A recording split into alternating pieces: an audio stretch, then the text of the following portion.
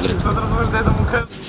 Nezavisno udruženje novinara Srbije i redakcija portala Istinomer podneli su načelniku komunalne policije Beograda prijavu protiv komunalnog policajca Srđana Ilića zbog ometanja i primene sile prema novinarima jer su komunalni policajci 25. septembra prekinuli intervju koji je snimala ekipa Istinomera i time prekršili prava i slobode novinara.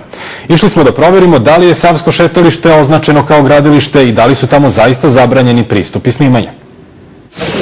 Šta slikate? Molim? Šta slikate? Snimam se A šta se snimate? Pa evo sa tebe snimam. Dobro, a što snimaš? Zato što, o, deče, Šta sme, a šta ne sme da se snima? Ko to određuje? Ko sme da zabrani? Ako je suditi prema ovom snimku, snimanje onih koji su se okupili da podrže projekat Beograd na vodi nije poželjno.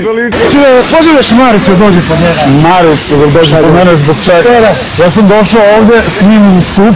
Čovjek, Ali nije poželjno snimati ni one koji se protive projektu, ako je snimanje blizu kamena temeljca. To je na svojoj koži osetila i ekipa portala Istinomer, dok je snimala intervju sa Dobricom Veselinovićem iz inicijative Ne davimo Beograd. nevjerovatno e, da jedna javna služba e, ne štiti e, javni interes građana i ne radi u javnom interesu, već se ponašaju kao ljudi koji su u službi politike ili nekih privatnih interesa. Epilog su prekršajne prijave za ometanje službenog lica na gradilištu. Koga su novinari istinomera ometali, u čemu i gde je tu gradilište, još je jedna misterija. Zbog sprečavanja novinarske ekipe da obavi svoj radni zadatak, reagovalo je i nezavisno udruženje novinara Srbije. Načelniku komunalne policije Beograda podneta je prijava protiv komunalnog policajca Srđana Ilića zbog ometanja i primene sile prema novinarima. Onaj ko se plaši novinara, plaši se istine i to je ono o čemu svi moramo da razmišljamo.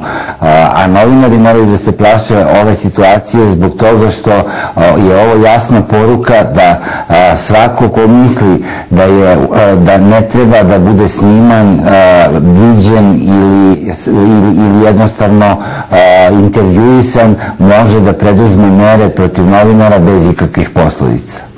Zaštitnik građana smatra da posljedice ne smeju da izostanu ako se utvrdi da za to ima osnova i da je komunalna policija prekoračila svoja ovlašćenja.